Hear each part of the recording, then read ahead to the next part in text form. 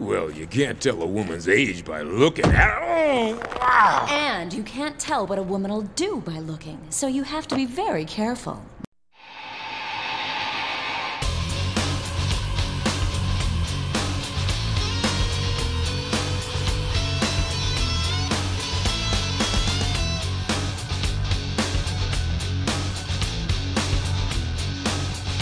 Hello and welcome. I am your host, Cinder Shadow, and today we're going to talk about how they scaled back on Faye Valentine's outfits for the new Cowboy Bebop series. Quite interesting to see that they actually scaled it down because they were scared of what it may what may happen after the fact. Today we have Cowboy Bebop costuming designer felt resistant to make Faye Valentine overly sexualized in her anime version. So there was a lot of talk early on with this how Daniella Pineda didn't look like she was going to play the role of Faye Valentine. Since then, there was some other artwork that did come out, some screen grabs that came out where it looked like she was in a more revealing of an outfit. So we're not quite sure how Faye Valentine is going to be. And then there was also the pushback from Daniella saying, oh, not everyone is this skinny with uh, large, large breasts and everything like that, saying that you can you can fill this role, even though right after that, it came out revealed that she played a very sexualized character in a earlier transition of her acting. That word salad is now said and done. Cowboy Bebop costume de designer Jane Holland defended Faye Valentine's costume for the Netflix series. This is from, where was this, Epic Stream?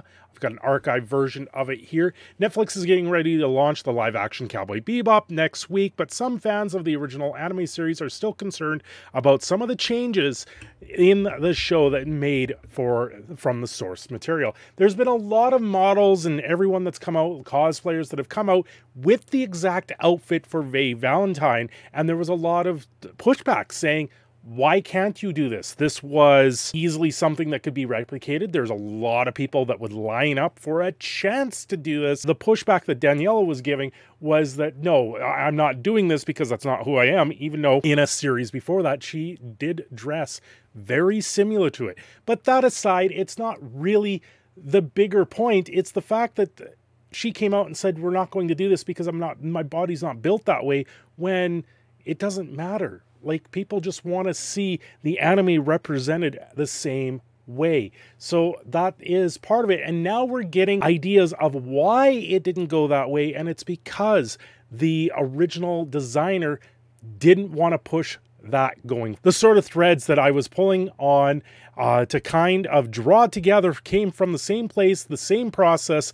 that I had to go through for Spike and Jet, Holland explained. She added, I feel like it's a re respectful rendition of the anime, and I do have to say, as a woman, felt resistant to the idea of a female lead character being graciously and overtly sexualized. Not about it being revealing, it's not about any of that. It's actually got all of those elements, elements but to designed by a woman and it was made by a lot of women and it's worn by a woman. The same elements are there, but they have just manifested in a different way.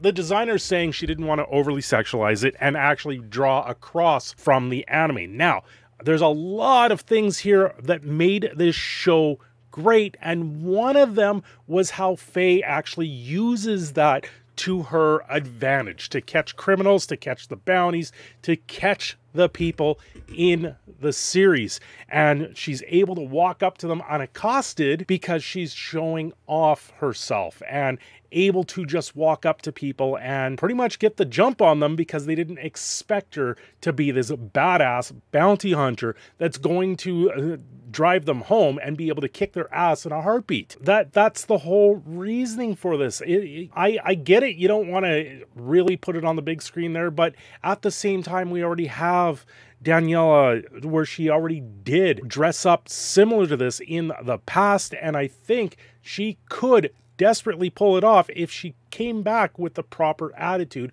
for the character and for her her acting career. She really was condescending to her fans very early on when this was announced and trailers were coming out for the story. So it's very disappointing to hear that she didn't want to push the boundaries and actually go forward head on. If you're not going to do the full thing and take something like this and go head on into it and tell people, listen, shut up, we're doing this the way that we should be doing this, then you're not taking the risk for the reward that would have paid off here. I don't know. I don't know. I think you would have gotten a lot more reward out of the series if they really did want to stick to the original show. They they they keep saying that this is like a cover band for the original show, so it's very difficult to say that going forward when they restrict what they're seeing in the show. Hey, what are your thoughts on this down below? Let me know. I'm just here reporting on it. Thank you for watching. This is your proud Canadian Phoenix signing off. Have yourselves a great day and don't forget to like and subscribe.